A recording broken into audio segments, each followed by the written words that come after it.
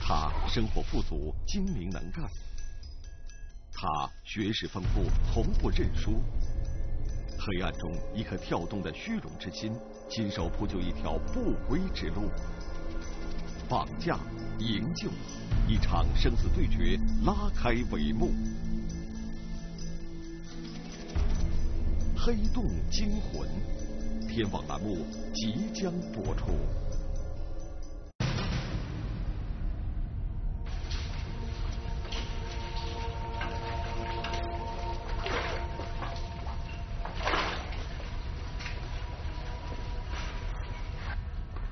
这里是湖北省襄樊市一个非常不引人注意的地下防空洞。当时我们吓了一跳，哇，怎么这么复杂？此时，一双双犀利的眼睛正紧紧盯着洞内危机四伏的每一个角落。在行动之前，不能不能有点迹象，必须秘密的、突然的冲进去。这是一次危险系数很高的行动，每一位荷枪实弹的民警都精神高度集中。当时我们进来以后，我们在明嫌疑人啊，我们不知道他们有什么工具，先冷静，一定要冷静，越是危急的时候一定要冷静。他们即将面对的是一个非同寻常的对手，一切结果就在这毫厘之间，所以大家必须格外小心。用我们的智慧，就是犯罪嫌疑人的脚法才跑。二零一二年十一月十日下午四点三十分，襄阳市樊城公安分局的民警们突然接到命令，奔赴市区繁华地段的某宾馆，执行一个重要任务。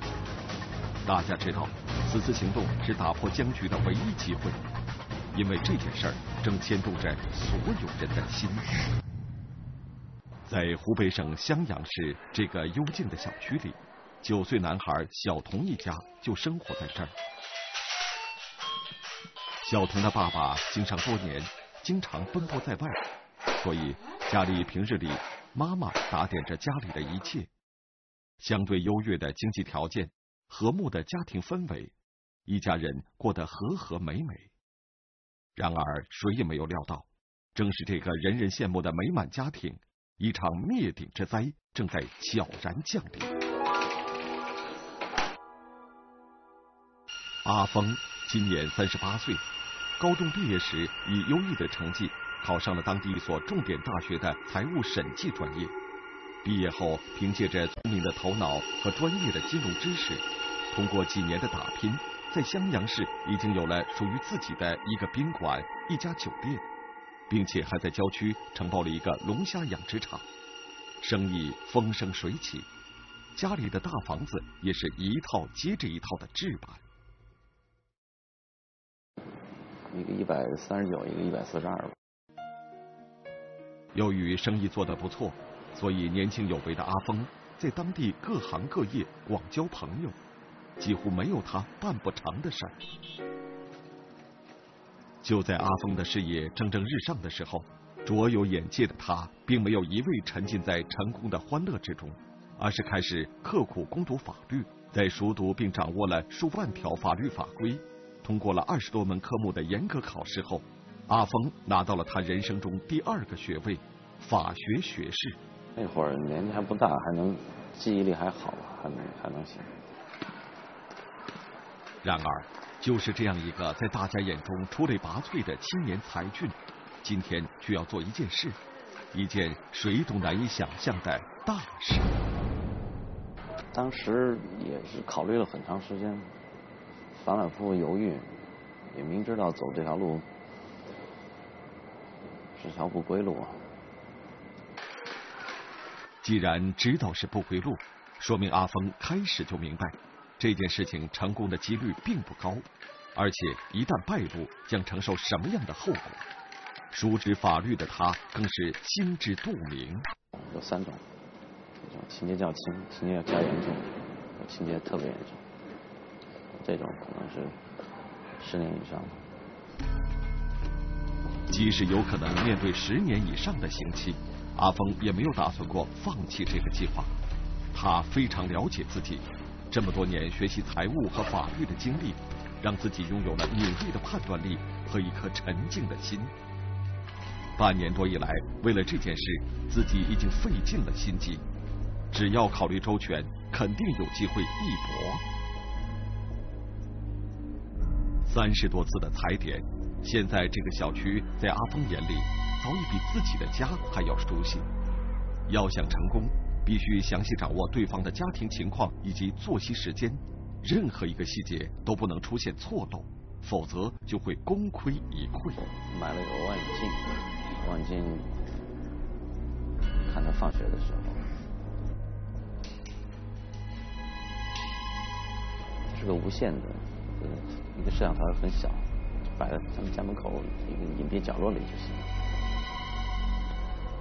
他总是不断的告诫自己不要着急，为了让自己掌握的情况更多，这样的监视工作他会分散在每个月的不同时间来做，也许这样能够更周详一些。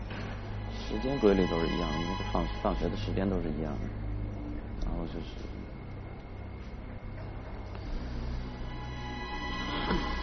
期间之前也有几次，他都一个人回来，也犹豫不敢动。阿峰的心不停的波动着，对方的情况已经了解透彻，接下来每一个环节的计划也已经非常周密，万事俱备，只欠东风，不能再犹豫了。他再一次下定了决心。平静的周末，厄运从天而降。电梯里的秘密，小区里的鬼影，周密计划后实施的精心布局。九岁男孩危在旦夕，黑洞惊魂，天网栏目正在播出。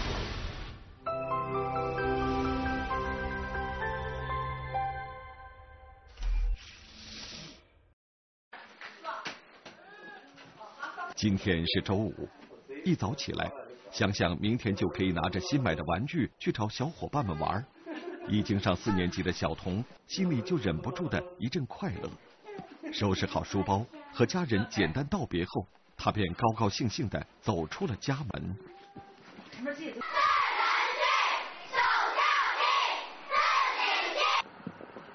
今天这个日子对于阿峰来说特别重要。对于行动计划，他已经想得非常清楚，所有的成败就看这接下来的几个小时了。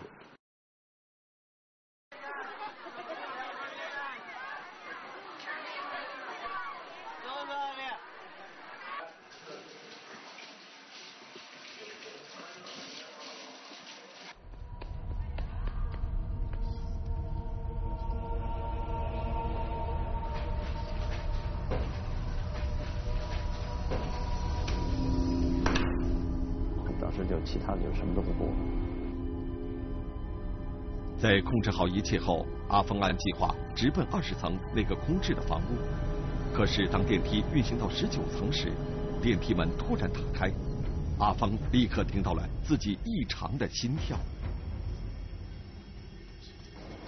一直都很紧张。幸好没有人进来，否则一切就会前功尽弃。已经这个时间了，小童为什么还不回来？学校离家只有五六分钟的路程，平时这个时间早就进门了。今天这是怎么了？是调皮被老师留下来，还是在路上贪玩耽搁？小童的妈妈越想越担心，开始四处寻找。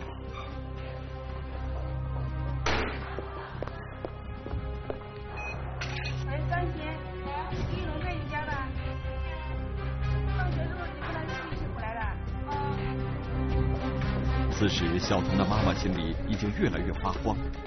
老师和同学都看见儿子放学后就往家走，可是这都一个小时过去了，怎么连人影都没有见到？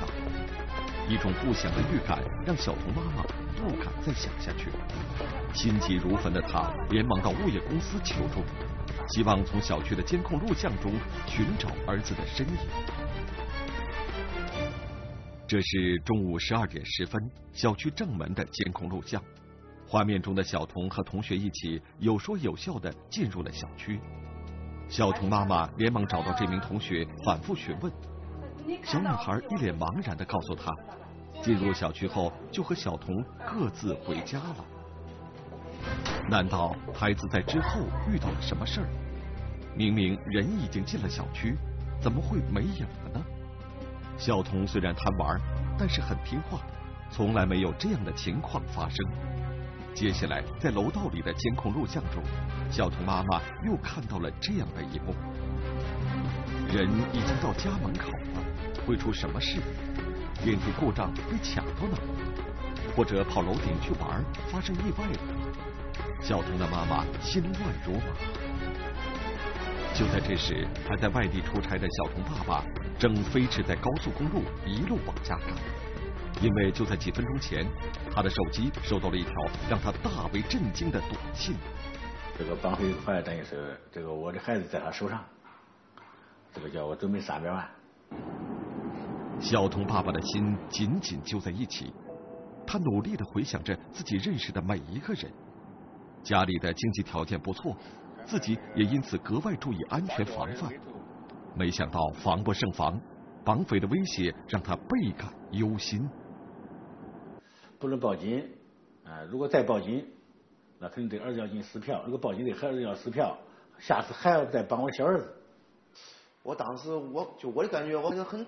很惊讶，我说现在的樊城有很长时间没发绑架案了。第二个，我觉得绑架案就是一个比较比较低级的一个，虽然说虽然说听到很很暴力，但是一个这个低级的犯罪。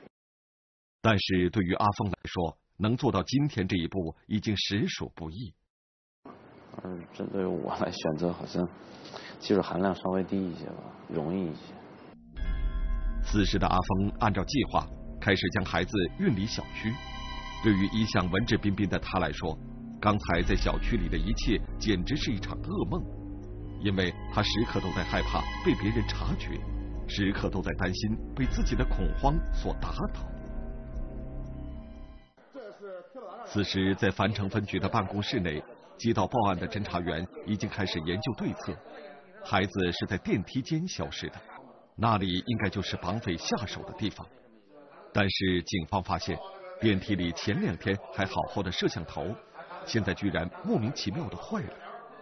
这个重要的线索断了，接下来该怎么办？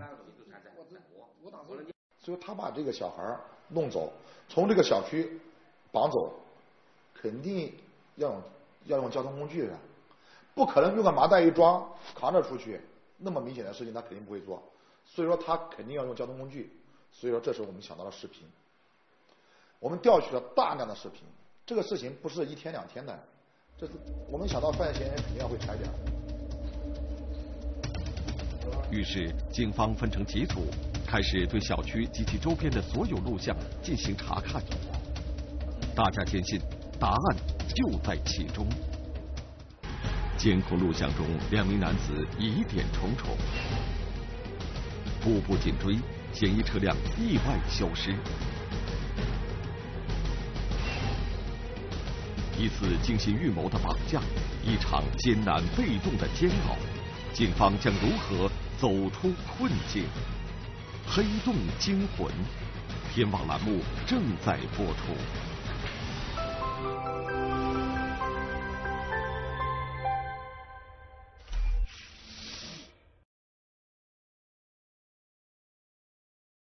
二零一二年十一月九日，家住襄阳市某高档小区的九岁男孩小童，在进入自家小区的电梯时，突然遭到绑架。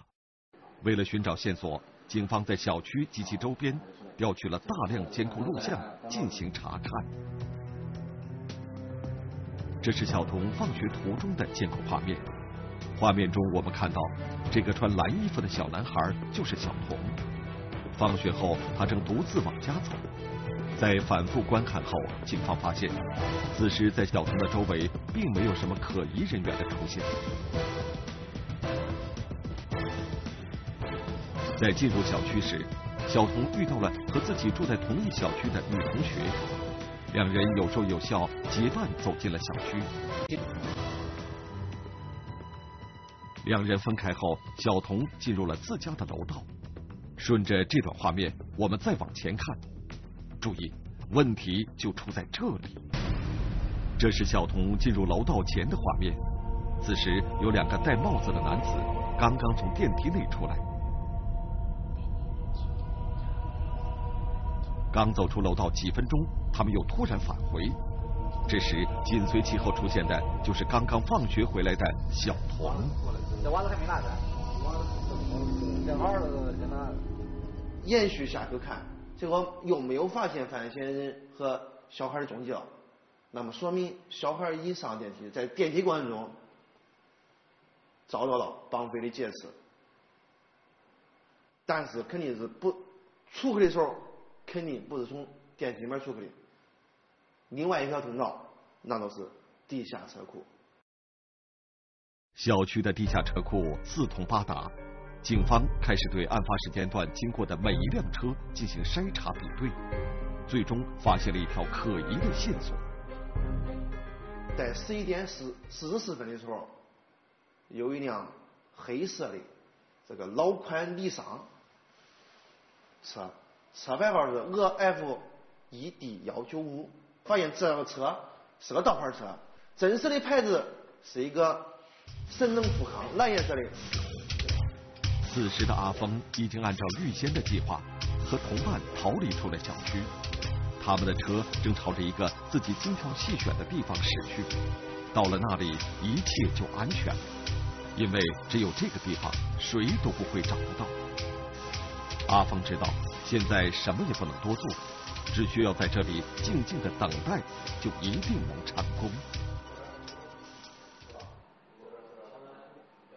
在锁定了这辆可疑的黑色轿车之后，侦查员开始在交管中心根据监控录像，顺着这辆车离开小区后的行驶路线，开始一路追踪。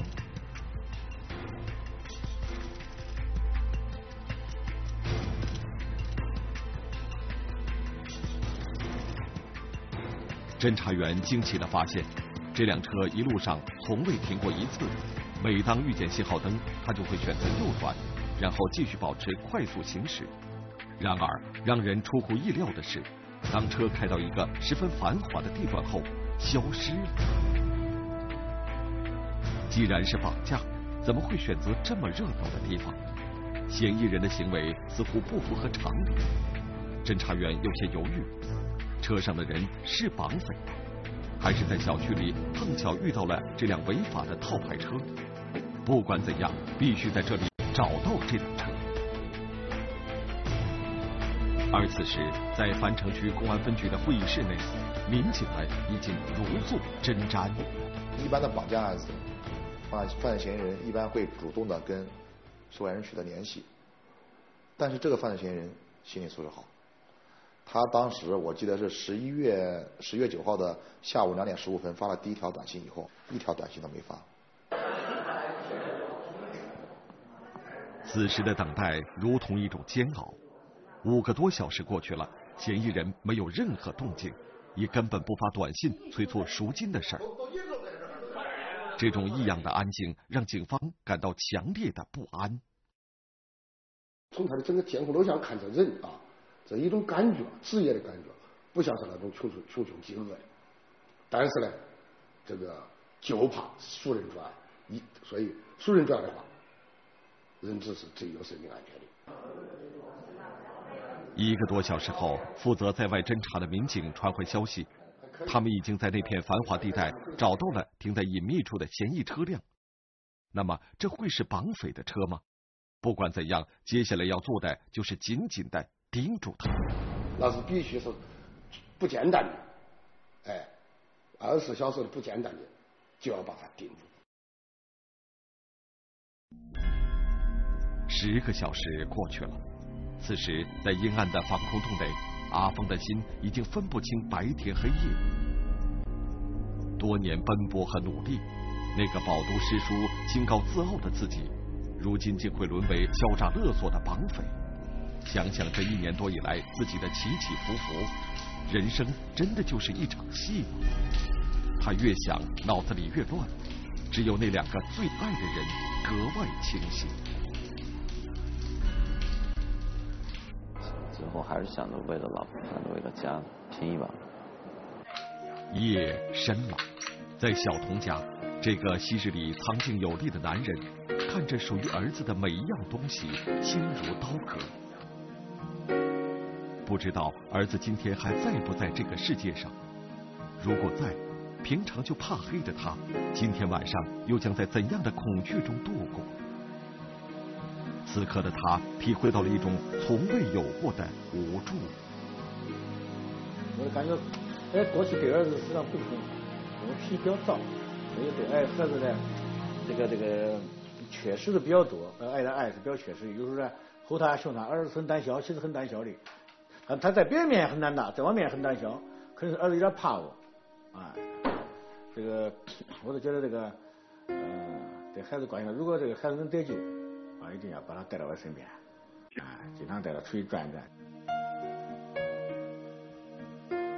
这一夜，他无法入睡，也无力再想下去，只能默默的承受着这痛彻心扉的煎熬。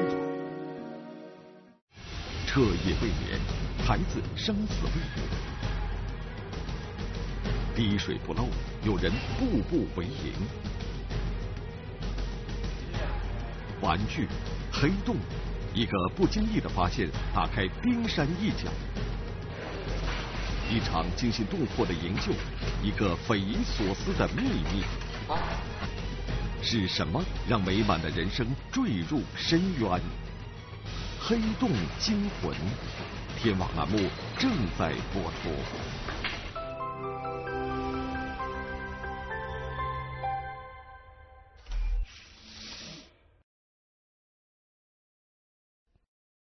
为了寻找线索，侦查员们彻夜未眠。但是从案发至今，嫌疑人一共就发来了三条短信，并且拒绝了和小童对话的要求。已经二十四小时了，嫌疑人的滴水不漏几乎封闭了所有消息。接下来该怎么办？一个人活在世上，他不可能生活在真空中间，肯定要和周围的人事物。发生联系，这个犯罪嫌疑人再狡猾，他不可能把所有的事情想得面面俱到。转机就在不经意间悄然出现。中午十一点半，当侦查人员还在嫌疑车辆附近蹲守时，车主现身了。看样子，他应该刚从对面的餐馆吃完饭，手里还拎着打包回来的食物。但是最让侦查员兴奋的是，在他手里拿着的另外一样东西——小孩的玩具。看来孩子还活着。侦查员立即对该男子进行跟踪，发现此人正向这座大厦的地下室走去。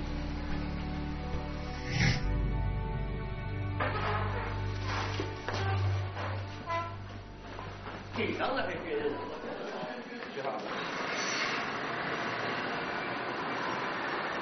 一切准备就绪后，民警们开始向大厦的地下靠近。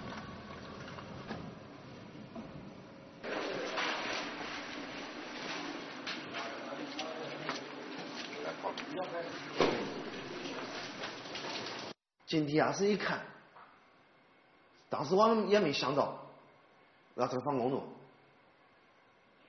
然后里边还滴水。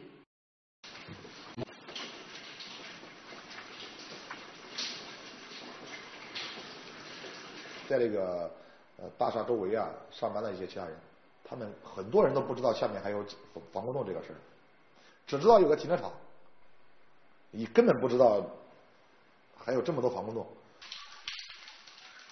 但是对于阿峰来说，这儿却是一个保留许多美好记忆的地方。我们小时候就在那儿玩，一直就在是我们属于那个铁路分局。小时候就一直在那个铁路分局那个院里面玩，防空洞很早就有。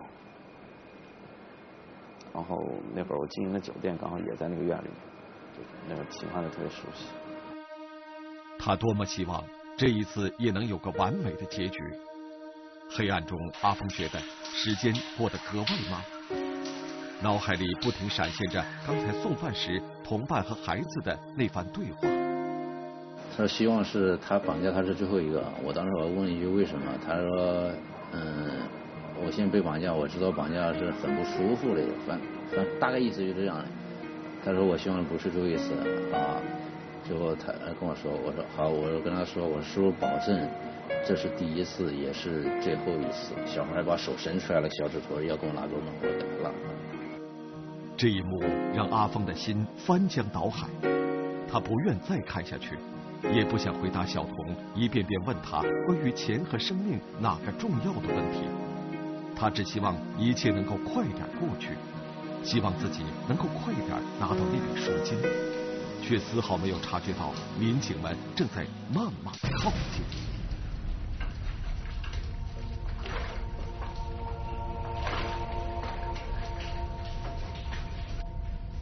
下午四点，民警们在反复试验后，轻轻地打开了防空洞内那一扇厚重的大门。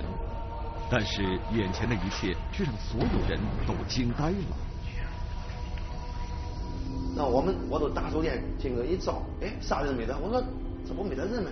然后再往前看，还有一个门一进去，这道子好深啊！当时我们还没意识到这防空洞，知道吧？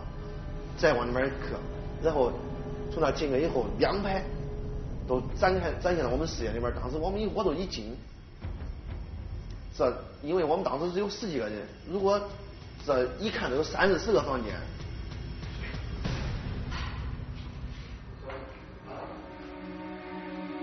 我们以以为一个房东进去就是跟一个就是大厂子一样，对，避难场所嘛，是吧？没想到里面就是里面就是一间两间的，是吧？隔开了。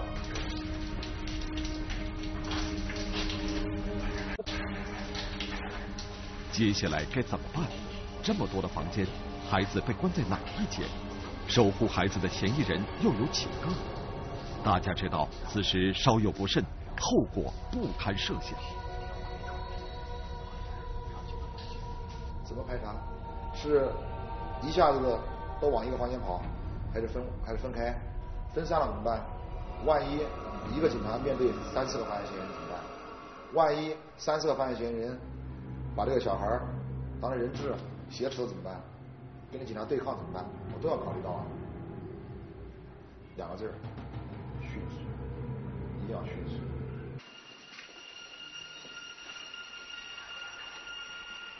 侦查员们迅速让自己冷静下来之后，经过重新规划分组，开始以最快的速度挨个房间、逐个角落进行搜寻。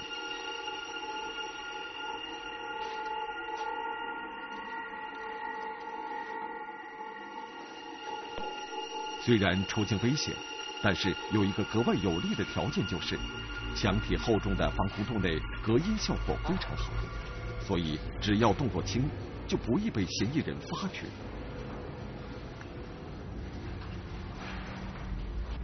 下面的比较隔音，我们在采取，我们在这个房间采取过程，采采取行动的过程中，有可能他在某一个房间，他并不知道我们在干什么，听不见了。他防空洞的大门都是就像六七十年代修的，就这么厚的那种那种石材，听不见了，比较隔音呢。整个防空洞内出奇的安静，每一个人都全神贯注的紧紧盯着眼前的每一个角落，绝对不能让意外在自己的手中发生。我所以说，我们当时啊做了这么多准备，我们想了这个小孩解救是迟早的，但是就怕在解救过程中出现大的变故，知道吧？怕犯罪嫌疑人狗急跳墙。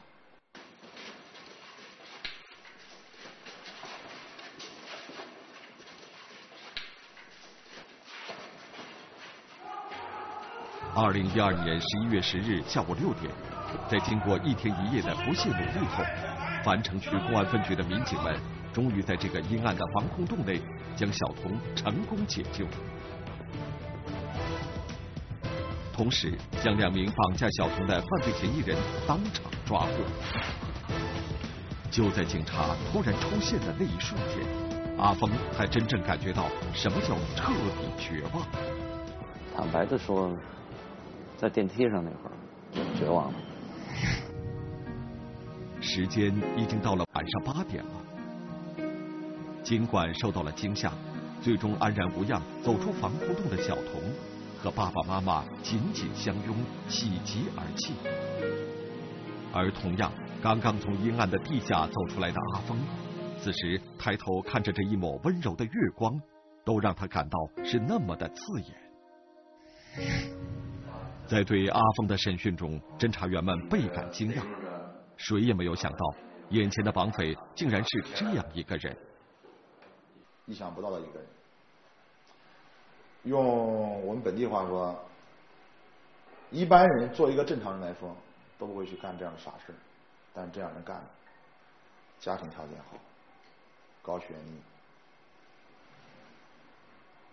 他做这个事情，我我一般不知道他为什么，我现在我到现在也想不通。他一句话就是为了钱，但是为钱不可能做出这样的这么大、这么伤天害理的事情。其实有的是阿峰自己也没有想通。阿峰告诉警方，近一年以来自己的生活发生了大的变故。由于经营不善，去年开始他的生意出现了危机，而且每况愈下，几乎到了难以维持的地步。这个一个资金链断了以后。会牵扯的几个几个经营项目可能都要受牵连，然后之前进来之前也是在从拆东墙补西墙，嗯，还有银行贷款借的有高息。其实，即便是从头开始，头脑精明的阿峰也绝不至于狼狈不堪。可是，已经习惯了风光、习惯了享受的他，不愿面对眼前的现实。于是，他就开始到处想办法找钱。一次偶然的机会，他从别人那里得知，小童父亲的生意做得很大。这股刺鼻的钱味顿时吸引了阿峰，他决定铤而走险，通过绑架勒索，从小童身上弄出一笔钱来，挽救自己的事业。想过很多次，然后觉得。不能做，然后就停下来。过段时间，就感觉压力越来越大，然后又想起，还是做，不做，反反复的犹豫了很很多次。但是他身体里跳动的那颗阴暗的虚荣心，却在一遍遍告诉他不能输。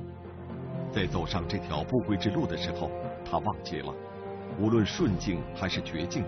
无论受过专业法律教育，还是仅仅懂得一点点杀人偿命、欠债还钱的朴素知识，任何时候法律的底线绝对不容逾越和突破。其实人到绝境的时候，倒倒能想出很多办法。现在进来以后回想起来，倒是还能还能有其他的处处理方法，不用选择这条路。但是从犯罪心理学上来说，任何一个犯罪分子，他都有一种这种侥幸的心理。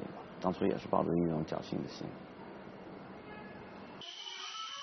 如今，小童已经恢复到正常的学业当中。